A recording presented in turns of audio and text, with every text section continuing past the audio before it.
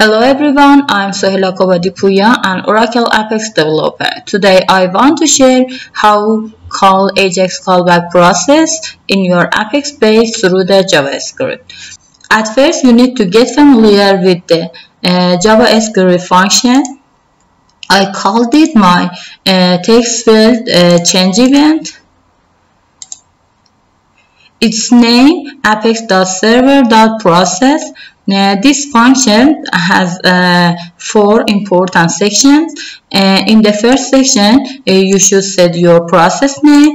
In the second section, um, you can send your parameters uh, through x01, x02, and etc. And also, you can send your page item values.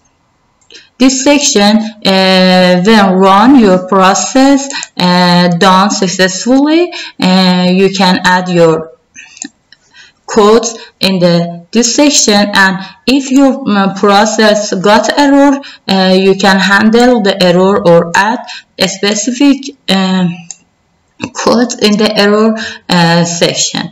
Uh, okay go to review the server side codes in the server-side code um, you can add a create process in uh, the ajax callback section.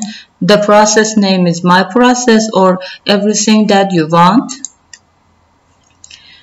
Uh, as you see you can get your promise uh, with apex underline application dot g underline x through 1 and x through 2 uh, and also you can um, add uh, your uh, codes in this section. At the end or everywhere you want send the parameter uh, to client side you can um, use htp.p for example i and uh, I send a, message uh, that use uh, the parameters and uh, page item values. Uh, okay, uh, go to try it. As you see, I have a text field and I type my name. The change event I get a message from server side that uh, I see uh, the my parameter value and my page item value.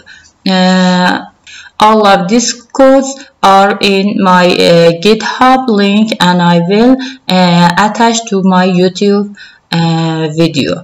I hope you enjoy learning in Oracle Apex Tips YouTube channel.